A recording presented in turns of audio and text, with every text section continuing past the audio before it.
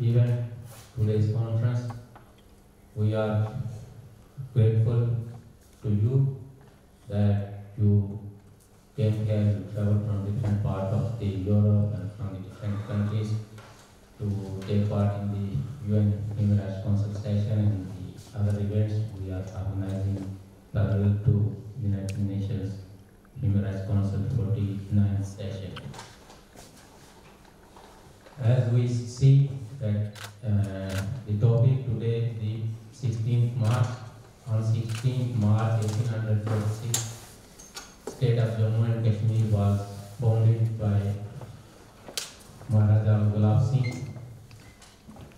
And since 1846 till 1947, almost 100 years our state was very much intact. And if we compare our state of Jammu and Kashmir in that era with other neighboring states, that state was much better than the other states.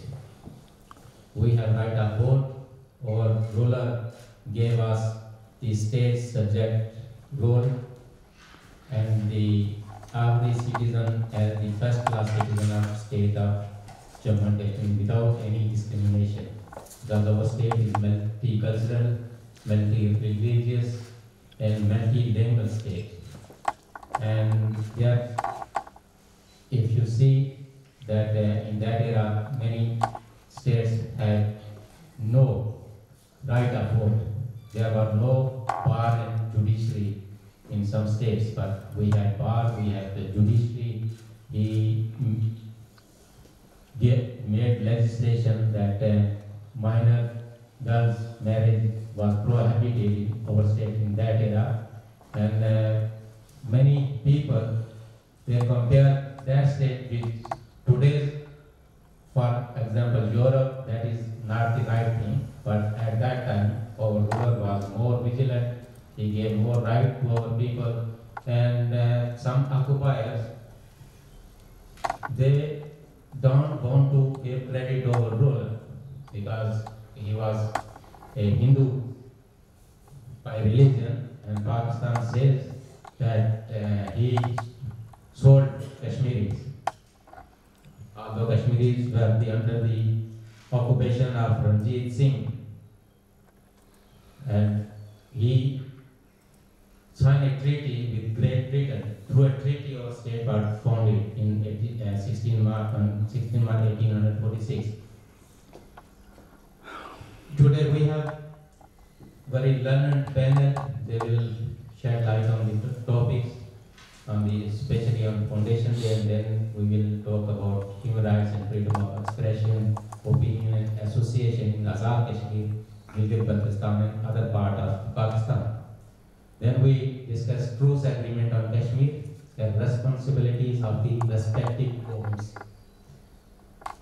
It was the truce agreement when Pakistan invaded in state of Jammu Kashmir. She was in denial mode that our troops didn't enter in Kashmir. These are the tribal men, and we have nothing to do with uh, this invasion. Then when uh, UN Commission people arrived in Karachi, at that time Pakistan said yes, our regular troops are fighting in Kashmir along with tribal men. These tribal were arranged by Pakistani military and intelligence agencies and made several uh, retired military they wrote books and admitted that these heinous crimes were done by on their wish and will. Their wish was to capture entire state of Jammu and Kashmir, but at that time our ruler and especially our progressive people, they stood against these invaders and they fought and they sacrificed their lives.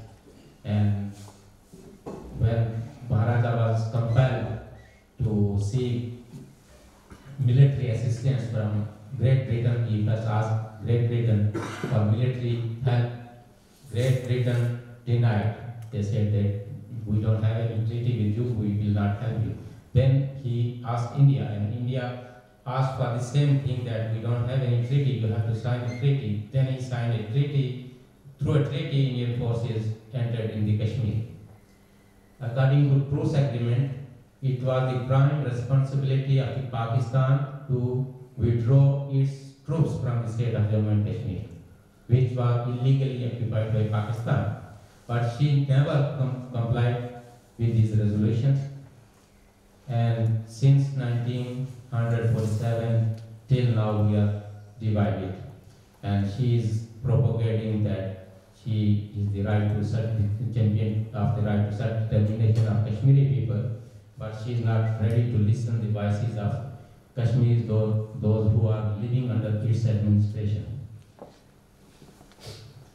First, I introduce my panelists, then I will give floor one by one to our distinguished panelists. We have in our panel Sardar Shaukat Ali Kashmiri, exiled chairman of United Kashmir People's National Party, Secretary General of Jammu and Kashmir International People's Alliance.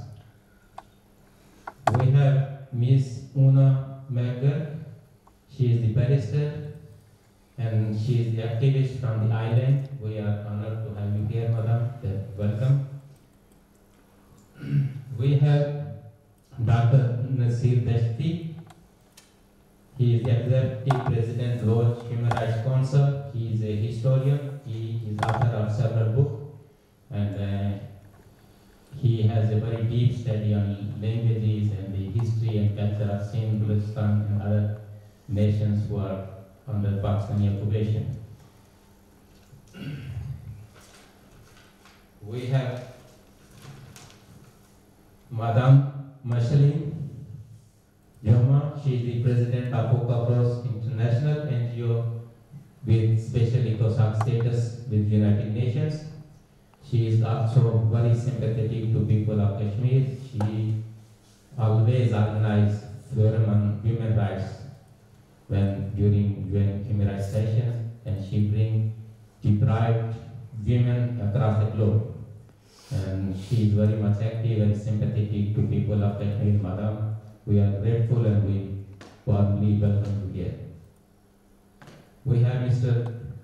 Junaid Qureshi from Srinagar, he based in Netherlands, Executive Director, European Foundation for South Asian Studies. We have Dr.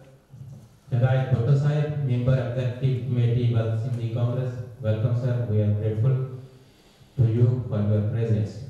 We have Mr. Munir Mengal, President Baloch Voice Association. Thank you, sir, for your presence here in this event.